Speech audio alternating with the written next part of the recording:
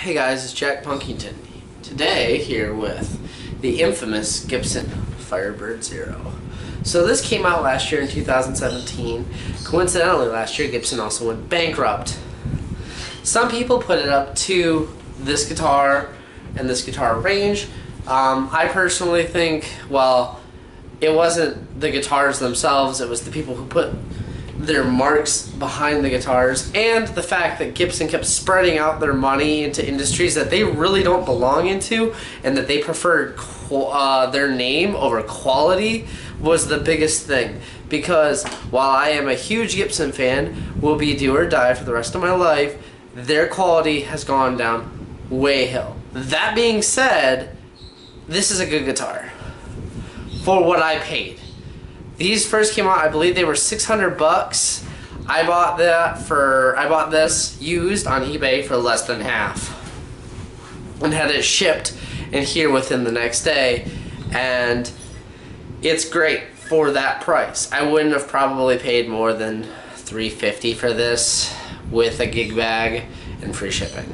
But anyway, so we're gonna be on the clean channel talk about a little bit. So this is the Pelham Blue finish. This is probably what I would say is the most popular finish or like the most known finish with this pearloid pickguard. As you all know, I absolutely hate pearloid pickguards, but I could not turn down this guitar at this price.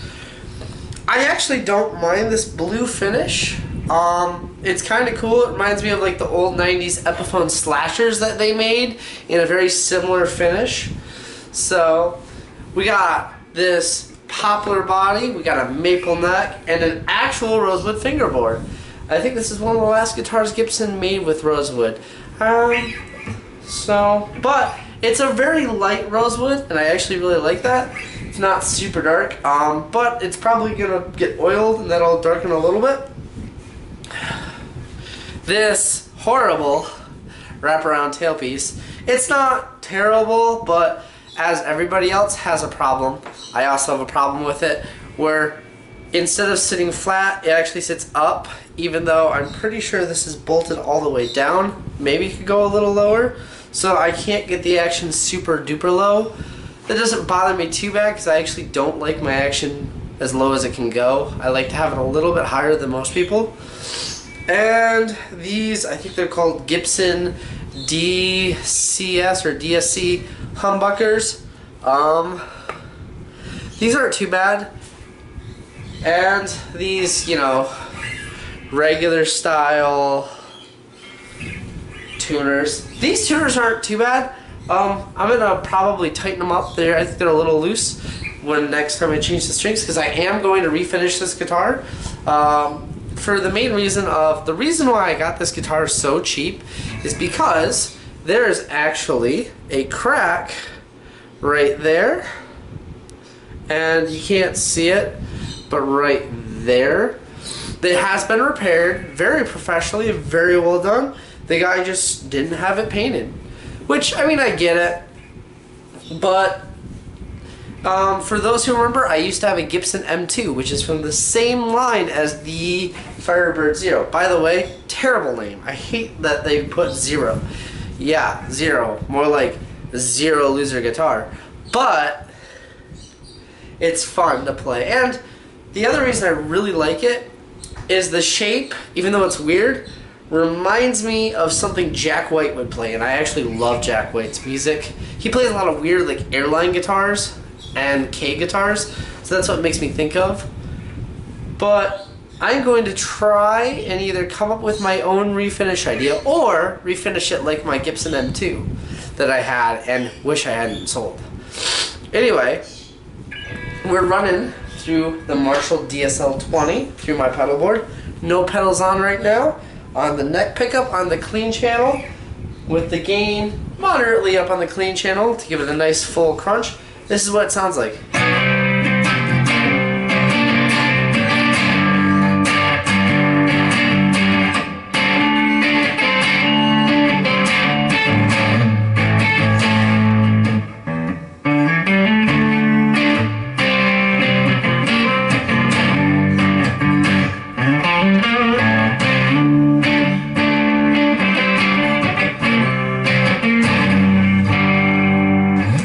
Position.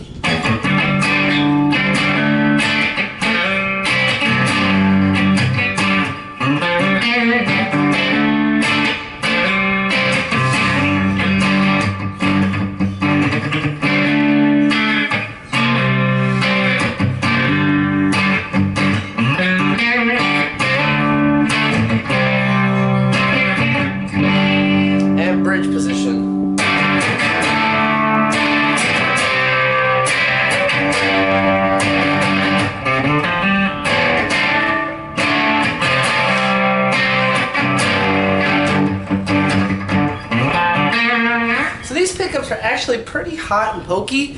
Um, they kind of have like this weird strat sound to me. Um, another reviewer uh, pointed that out. Can't remember his name, but I actually really like his videos. If I can remember it when I post this video, I will put his channel in the description of this video. But it has a strat quality to me. It's like someone mixed a strat and like an SG together and reverse shaped the Firebird and said, new guitar. But it actually sounds pretty decent. Put on an overdrive pedal.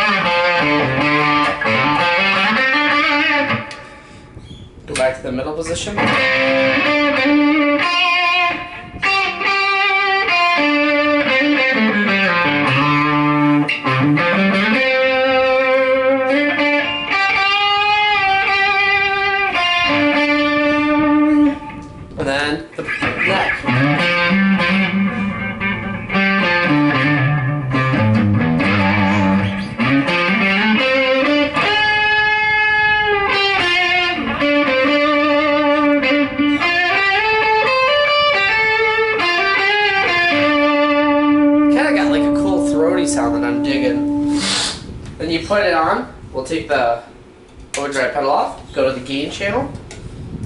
Neck pickup.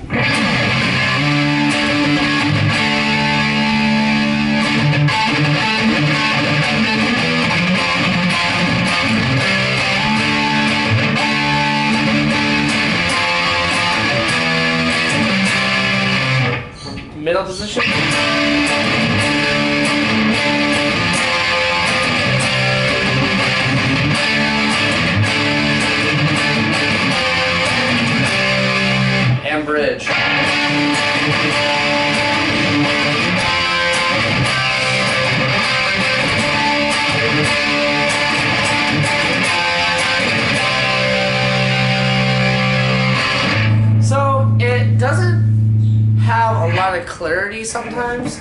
Um, I'm probably going to change the pickups out. Um, I'm actually thinking about doing a full metal machine project with this, with like EMGs. Not quite sure yet. We'll see what happens. But for now, they work. Add the overdrive on top, and it sounds a lot better to me.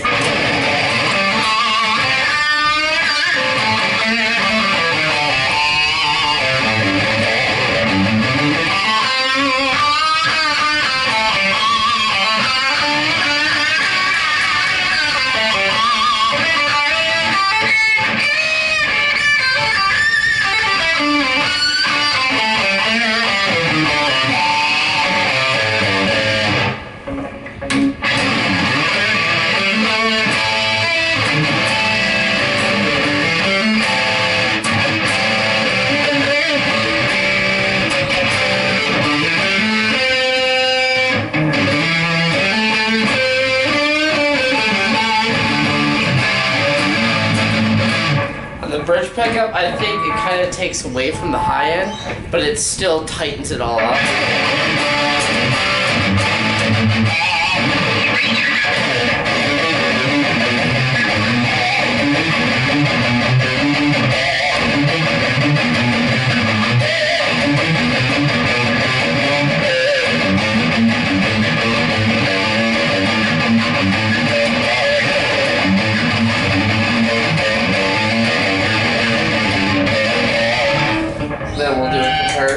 Go back. Just the bridge, no overdrive.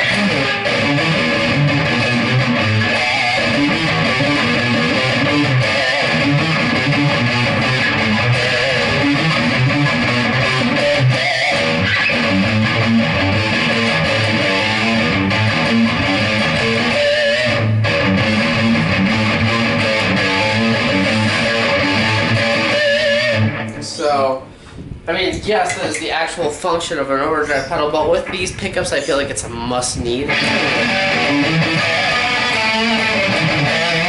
But, for what I paid, I think this is going to be a fun mod project, and that's what I bought it for. I didn't buy it to be like, oh, it's the new best thing.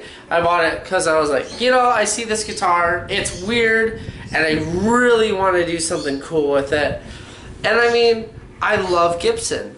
Yes, I would say that this is probably the worst quality guitar they let out, at least in my lifetime. Uh, but I think it's going to be fun. You know, new paint job, different colored pickguard, or just paint over this like I did with the M2. Definitely need some new knobs because I am not a fan of the top hats. New bridge for sure. That's the biggest problem with this guitar, I think. If they would have put on either a regular Tune-o-matic style bridge and tailpiece or a, a better wraparound tailpiece, I think this guitar would have had a lot of its problems solved and it wouldn't have got as much hate. The tuners are fine for now. I'm not going to really worry about them. Maybe down the road replace them, but the biggest thing is going to be the bridge and then just the paint job for me.